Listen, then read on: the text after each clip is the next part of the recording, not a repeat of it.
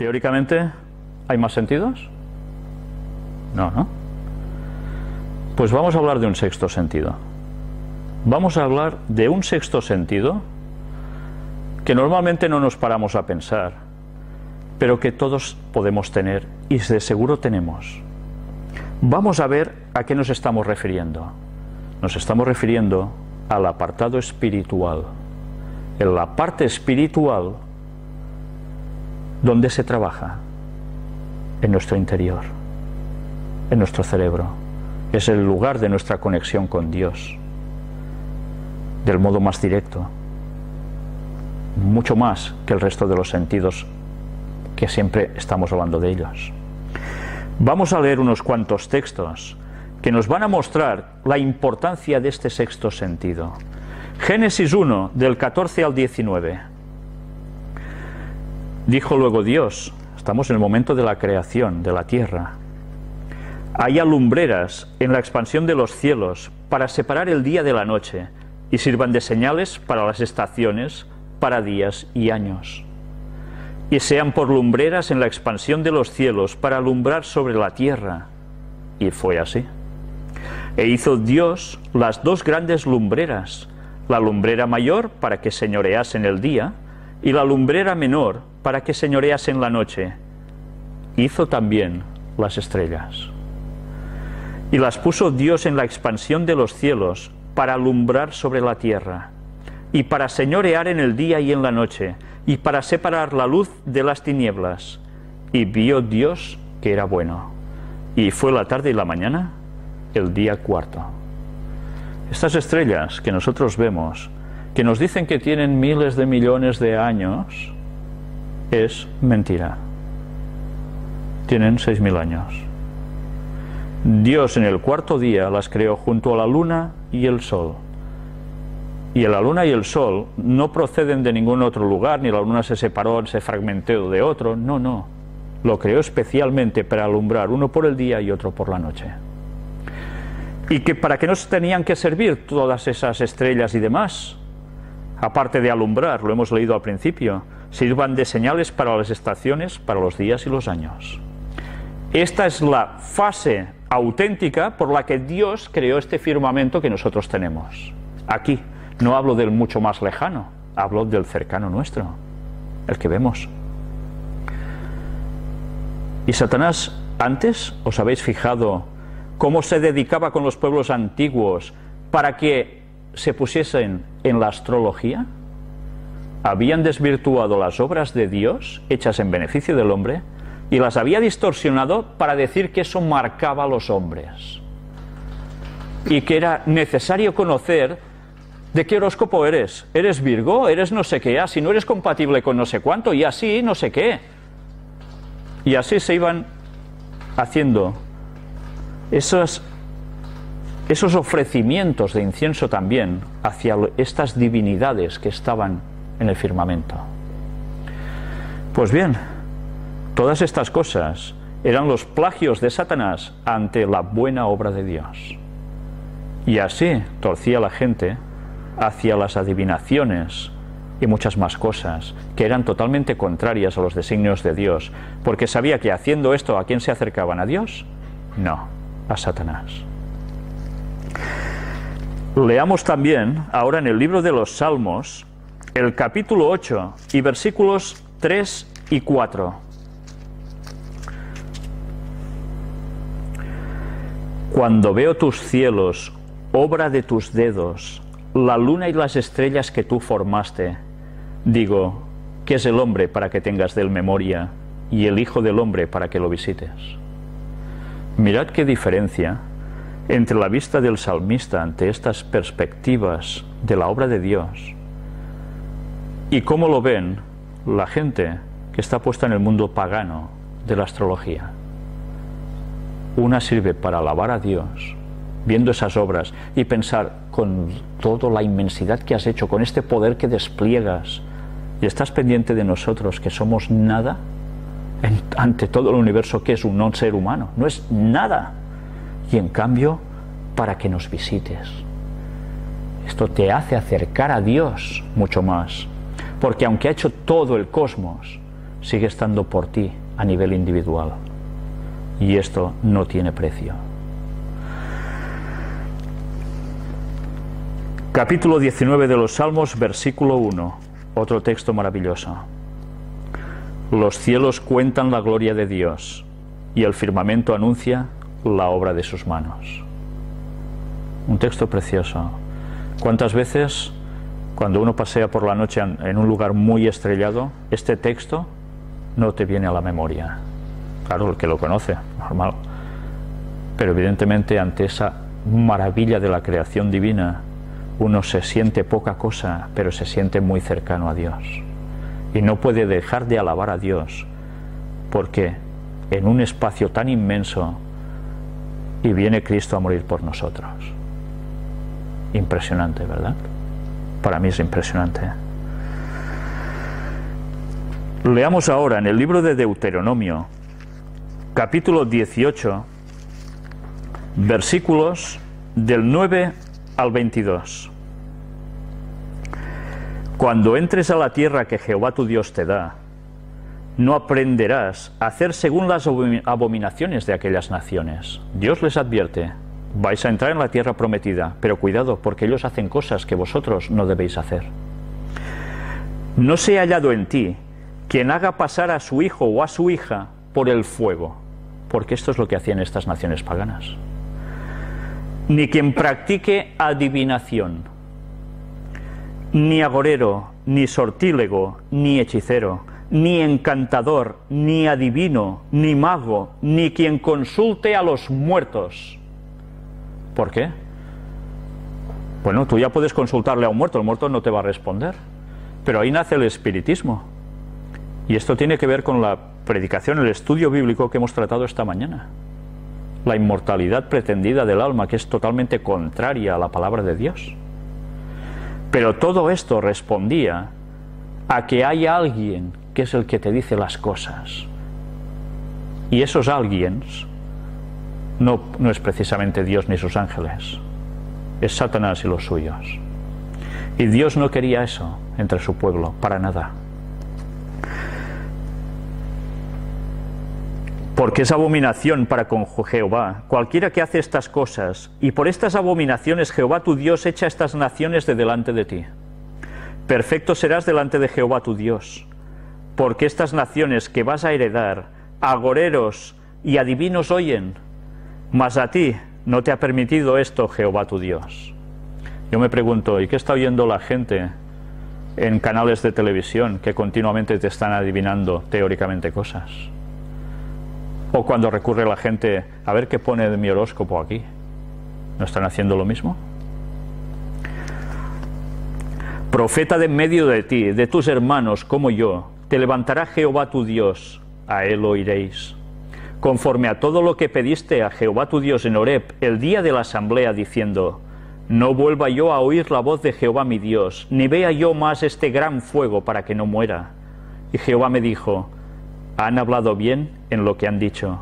Profeta les levantaré de en medio de sus hermanos, como tú, y pondré mis palabras en su boca, y él las hablará él les hablará todo lo que yo le mandare. Mas a cualquiera que no oyere mis palabras, que él hablare en mi nombre, yo le pediré cuenta. El profeta que tuviere la presunción de hablar palabra en mi nombre, a quien yo no le haya mandado hablar, o que hablar en nombre de dioses ajenos, el tal profeta morirá. Y si dijeres en tu corazón, ¿cómo conoceremos la palabra que Jehová no ha hablado? Si el profeta hablar en nombre de Jehová y no se cumpliere lo que dijo, ni aconteciere, es palabra que Jehová no ha hablado. Con presunción lo habló el tal profeta. No tengas temor de él. Dios lo había dejado todo clarísimo. Estas cosas entre su pueblo jamás tendrían que estar. Leamos ahora en el libro de Segunda de Reyes, en el capítulo 23, versículos del 4 al 6. Entonces mandó el rey al sumo sacerdote Hilcías, a los sacerdotes de segundo orden y a los guardianes de la puerta, que sacasen del templo de Jehová todos los utensilios que habían sido hechos para Baal, para Sera y para todo el ejército de los cielos.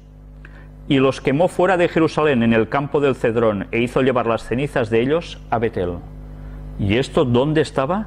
Dentro del templo. Hasta ese punto se llegó. Adorar a Satanás, los demonios, a través de adorar a los astros, a Baal Asera, a Baal, símbolo de Satanás, a Asera. ¿Asera? Era una divinidad femenina, Astarte, que con el paso de los años resulta que esa misma adoración que hacían los paganos, el catolicismo se la apropia y la encara a la Virgen María. Esto es fuertísimo, pero esto es historia. Pues ya veis la gracia que esto le hacía a Dios. Y quitó a los sacerdotes idólatras que habían puesto los reyes de Judá para que quemasen incienso en los lugares altos en las ciudades de Judá y en los alrededores de Jerusalén, y asimismo a los que quemaban incienso a Baal, al sol y a la luna y a los signos del zodíaco y a todo el ejército de los cielos.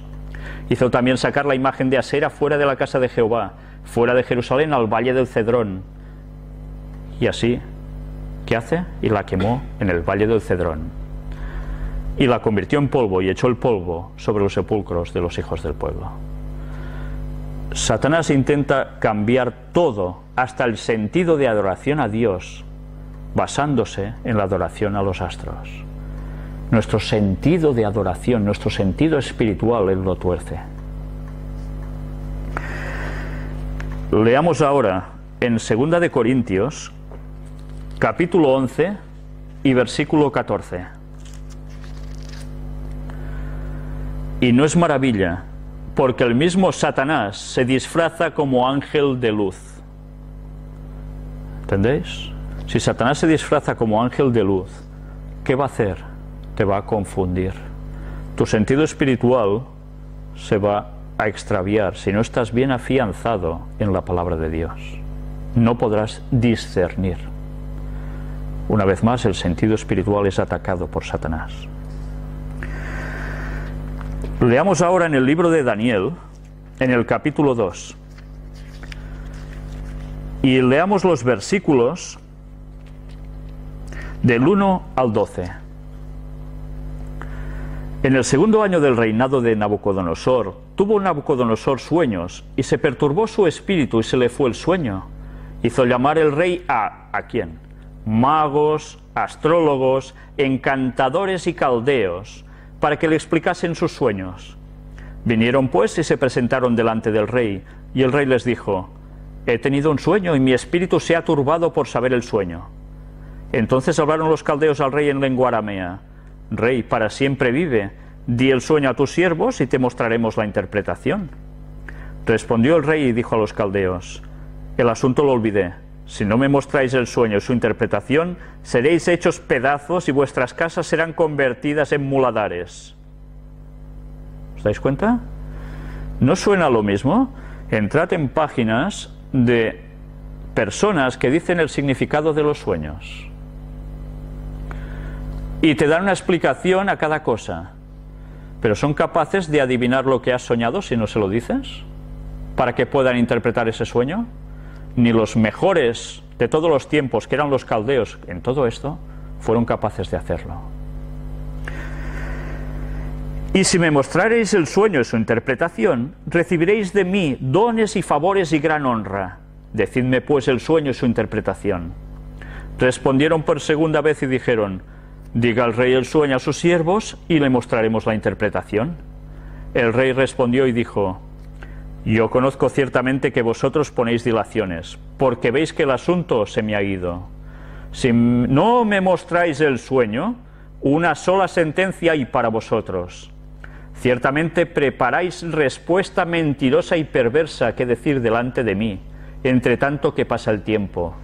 Decidme pues el sueño, para que yo sepa que me podéis dar su interpretación. Los caldeos respondieron delante del rey y dijeron, no hay hombre sobre la tierra que pueda declarar el asunto del rey. Además de esto, ningún rey, príncipe ni señor preguntó cosa semejante a ningún mago, ni astrólogo, ni caldeo. Porque el asunto que el rey demanda es difícil y no hay quien lo pueda declarar al rey, salvo los dioses cuya morada no es con la carne. Hasta este punto llegan a afirmar que son incapaces. El texto sigue avanzando y llega a decirnos cosas que son realmente sorprendentes. El rey ya se da cuenta de que le están levantando la camisa, de que en verdad ellos no le van a decir nada porque ignoran totalmente el conocimiento de su sueño. No lo saben. ¿Y qué siguen haciendo ellos? Van dilatando. Pero entonces sucede algo sucede algo que cambia el panorama totalmente. Si vemos, el texto nos dice, por esto el rey con ira y con gran enojo mandó que matasen a todos los sabios de Babilonia. Y se publicó el edicto de que los sabios fueran llevados a la muerte y buscaron a Daniel y a sus compañeros para matarlos. Daniel, un hebreo, y sus compañeros también iban a ser muertos. Entonces Daniel habló sabia y prudentemente a Arioc, capitán de la guardia del rey, que había salido para matar a los sabios de Babilonia. Habló y dijo a Arioc, capitán del rey, ¿cuál es la causa de que este edicto se publique de parte del rey tan apresuradamente? Entonces Arioc hizo saber a Daniel lo que había, y Daniel entró y pidió al rey que le diese tiempo, y que él mostraría la interpretación al rey. ¿Y sucedió? ¿O no sucedió que Daniel le muestra la interpretación? Sí. Pero por sus medios, por sus méritos, mirad los versículos 27 y 28 que nos dicen. Daniel respondió delante del rey diciendo, el misterio que el rey demanda, ni sabios, ni astrólogos, ni magos, ni adivinos lo pueden revelar al rey. Pero hay un Dios en los cielos, el cual revela los misterios, y él ha hecho saber al rey Nabucodonosor, lo que ha de acontecer en los postreros días. Y aquí tu sueño y las visiones que has tenido en tu cama. Daniel no se otorga la capacidad de adivinar ese sueño. No dice que lo ha conseguido a través de las constelaciones y adivinando no sé qué. No, no. Dice que es gracias a Dios que es el que le ha dado ese conocimiento. Y es la gran diferencia. Pero ya veis, Satanás tuerce la forma de saber las cosas del futuro hacia su terreno utilizando personas que hacen lo contrario a los designios de Dios. Una cosa son los profetas de Dios y otra cosa todo el mundo de la adivinación pagana satánica. Y cada vez hay más de eso, ¿verdad? Leamos ahora en el libro de Hebreos el capítulo 1 y versículo 1. Dios, habiendo hablado muchas veces y de muchas maneras en otro tiempo a los padres, por los profetas. ¿Os dais cuenta? Dios habla a través de los profetas, no a través de los astrólogos y adivinos, no, profetas de Dios. Primera de Samuel capítulo 28. Vamos a leer un texto también bastante interesante. Versículos del 6 al 15. Y consultó Saúl a Jehová, pero Jehová no le respondió ni por sueños, ni por Urim, ni por profetas. A Saúl no recibe respuesta. Entonces Saúl dijo a sus criados, Buscadme una mujer que tenga espíritu de adivinación, para que yo vaya a ella y por medio de ella pregunte. Y sus criados le respondieron, He aquí hay una mujer en Endor que tiene espíritu de adivinación. Y se disfrazó Saúl y se puso otros vestidos, y se fue con dos hombres, y vinieron aquella mujer de noche, y él dijo, Yo te ruego que me adivines por el espíritu de adivinación, y me hagas subir a quien yo te dijere. Y la mujer le dijo, He aquí tú sabes lo que Saúl ha hecho, cómo ha cortado de la tierra a los evocadores y a los adivinos. ¿Por qué pues pones tropiezo a mi vida para hacerme morir?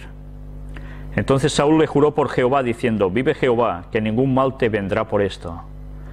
La mujer entonces dijo, ¿a quién te haré venir? Y él respondió, hazme venir a Samuel. ¿Samuel estaba vivo? Samuel estaba muerto. Y entonces se le iba a parecer Samuel. Y viendo la mujer a Samuel, clamó en alta voz y habló aquella mujer a Saúl diciendo, ¿por qué me has engañado? Pues tú eres Saúl. Y el rey le dijo, no temas, ¿qué has visto? Y la mujer respondió a Saúl, he visto dioses que suben de la tierra. Él le dijo, ¿cuál es su forma? Y ella respondió, un hombre anciano viene, cubierto de un manto. Saúl entonces entendió que era Samuel, y humillando el rostro a tierra hizo gran reverencia. Una aparición, una aparición. Y Samuel dijo a Saúl, ¿por qué me has inquietado haciéndome venir? Y Saúl respondió, estoy muy angustiado, pues los filisteos pelean contra mí, y Dios se ha apartado de mí y no me responde más ni por medio de profetas ni por sueños. Por esto te he llamado para que me declares lo que tengo que hacer. ¿No le había dicho Dios que no consultara a los muertos? ¿Que no fuera a los adivinos? Porque quien iba a aparecer no sería el difunto, sino un demonio haciéndose pasar por alguien vivo, que había estado vivo. No era Samuel quien se apareció, pero se hizo pasar perfectamente por Samuel. ¿Y qué hizo? Saúl hacerle caso. Había hablado ya con él, dialogado, aceptaba lo que le decía ese espíritu. Estaba en manos ya de Satanás. Leamos ahora en el libro de Segunda de Corintios, capítulo 11 y versículo 14.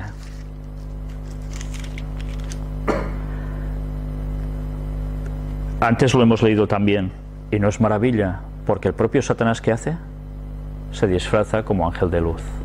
Tiene poder para confundir, haciéndose pasar por algo totalmente bueno, por un ser de Dios.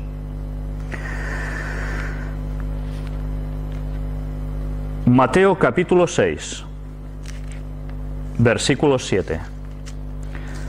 Me gustaría que mientras voy leyendo, vosotros mismos en vuestras casas, estéis siguiendo todos los textos bíblicos.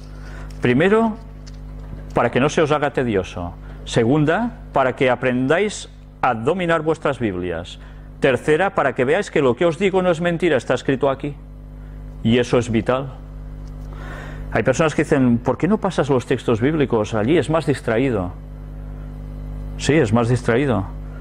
Pero nuestra concentración debe ser en tener una Biblia en la mano siempre para poder dictaminar si las cosas son así o no.